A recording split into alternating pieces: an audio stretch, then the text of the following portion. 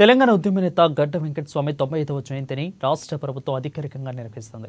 Tank దగ్గర soccer పార్కులో కాక విగ్రహానికి పూలమాలు వేసి ఎమ్మెల్యేలు మంత్రులు నివాళులర్పించారు పేదల జీవితంలో వెలుగు నింపిన వ్యక్తి కాకాని మంత్రి సీతక్క కొనియాడారు. గుడిసెలు అనే పేరుకు స్వ సార్థకత కల్పించి పేదవాళ్ళకు ఇళ్ళ స్థలాలు వచ్చేలా కృషి చేస్తారని అన్నారు. కాంగ్రెస్ హైకమాండ్ దగ్గర సోనియా గాంధీ దగ్గర తెలంగాణ ఏర్పాటు ఆవశ్యకత అని వివరించారని అన్నారు.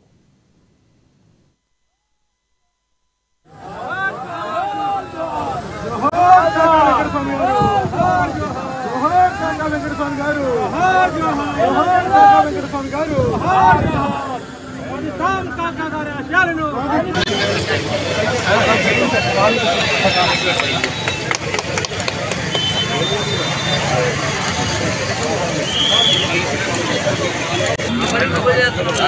Iya, nanti